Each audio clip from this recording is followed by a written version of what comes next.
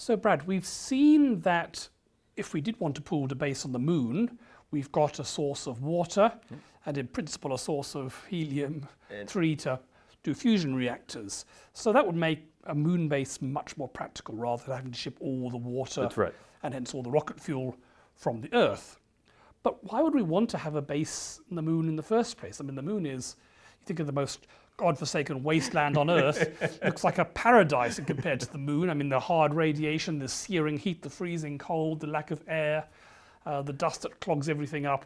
I mean, the moon is not a very appealing destination, really. I mean, presumably it might be of some interest just to prove that you can and to pioneer technologies, but uh, apart from that, the moon seems like a bit of a dead end. Well, you're, you're in a bit of a way, you're actually kind of right. Uh, you know, just as we were talking about with the 60s and 70s, the goal wasn't the science or anything like that. It was planting the flag and say, hey, we were the first. And that's actually kind of the view of the moon. It's less of what the moon has to offer, but more of what we can use the moon to do, i.e., kind of explained in this plot that we looked at earlier, a stepping stone to other places. So the moon is essentially it's less the destination and more the path to other places in space. Right, so this is the potential energy.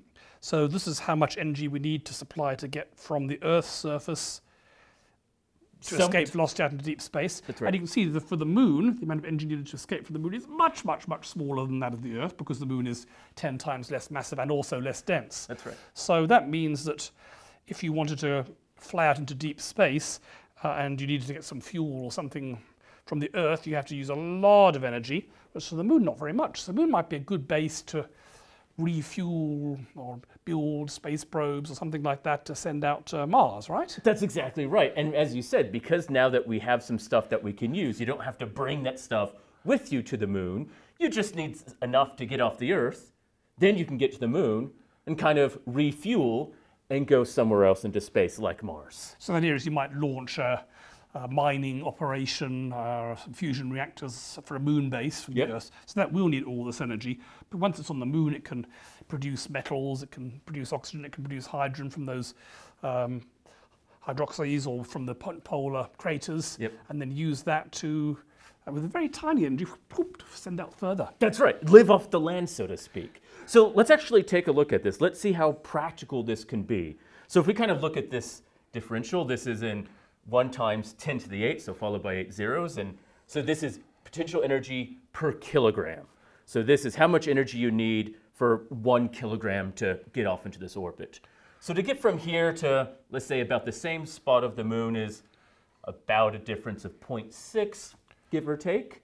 So that's 0.6 followed by eight zeros. So that actually ends up being about 60 or so megajoules, 60 million joules worth of energy for one kilogram. Okay. Now, obviously, lots of things are more than one kilogram, but we'll talk about that. Now, for the moon, to get to the same spot, you need a lot less. It's a, maybe a tenth, if that, 0.1. We'll just make it easy and say it's 10. yep. We like easy numbers in astronomy. We're not trying to plan this mission, we're just trying to show the scale here. So we need about 0.1 followed by eight zeros gets us 10 megajoules. So we need a lot less to get from here to here as opposed to here to here. Okay, sounds good. So now let's start sending a few things into space with these comparisons. So let's just take a small satellite, a kilogram. It's a very small satellite. It is a very small satellite, so not going to be really practical. You're not going to do this for orb, but let's make it simple for us. So if we need, at the numbers I was calculating, 63 megajoules per kilogram.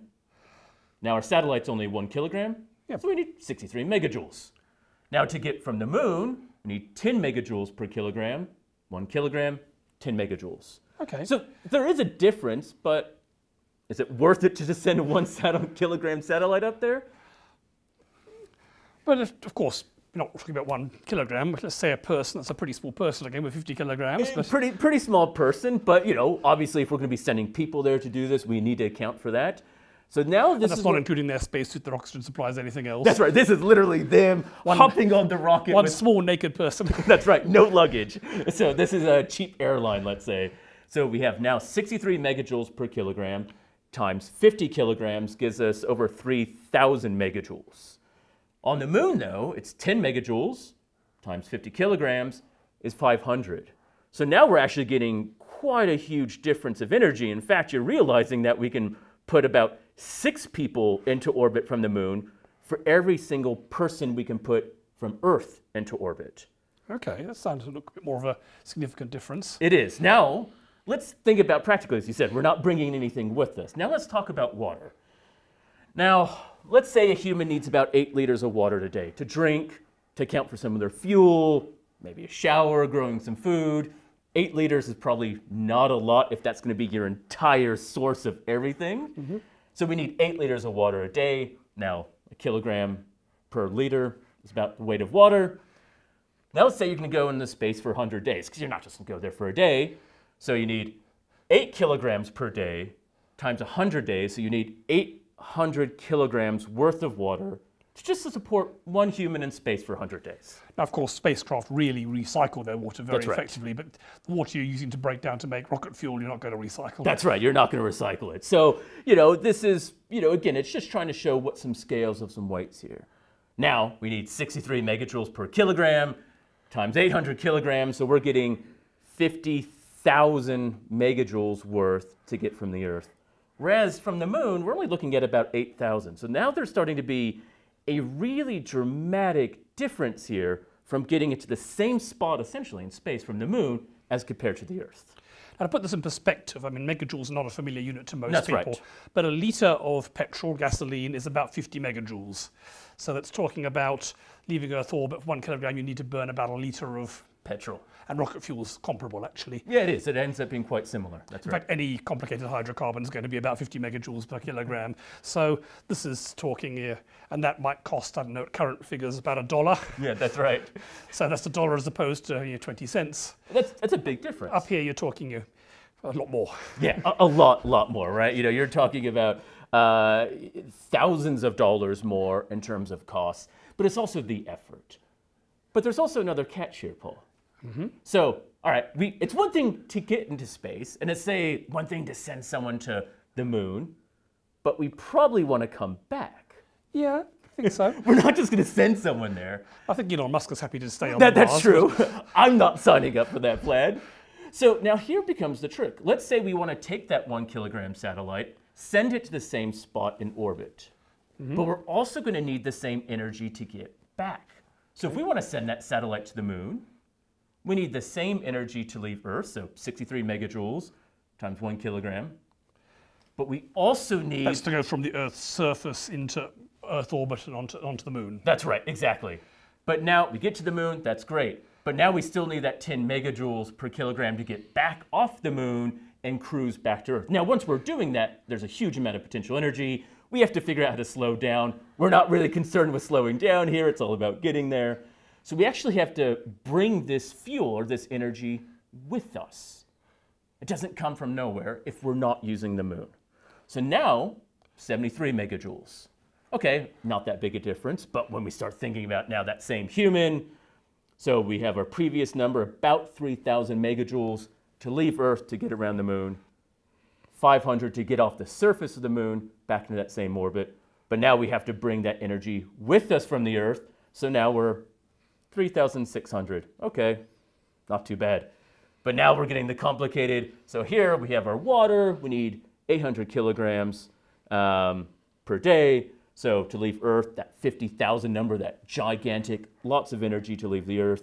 Still less on the moon, but we have to bring that back. So it's essentially dead energy here. It's energy. I'm not actually talking about 100 days to get That's from the right. Earth to the moon. This would be probably go from the Earth to the moon and then go from the moon on towards Mars or something, Something like like that, that's right. Or maybe do some orbits around the moon or something like that. But if you're not using the moon for fuel, and you're not using the moon to refuel, that doesn't come from nowhere. You have to bring it with you, right? You don't hop in your car, drive, and then all of a sudden say, oh, there's no petrol stations around.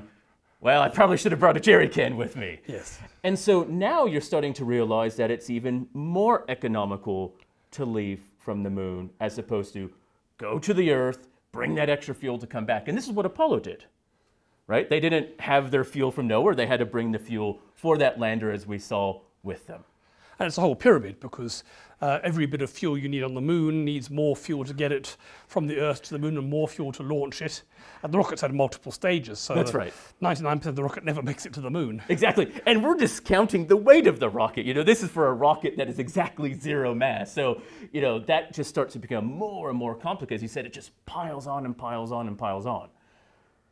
So, as we said, we're not just worried about getting to the moon here. We actually want to use it to get to Mars. Now, in that case, I think the benefit of going from the moon starts looking a bit weaker. Like if you just wanted to get into some orbit around the sun, because I mean, go from the Earth into uh, orbits this much energy, and the moon's much less. That's right. But getting to this level of energy doesn't help you get to Mars. You then have to add this much to get to Mars, which is actually much more. There's actually another huge jump. So let's look at that number.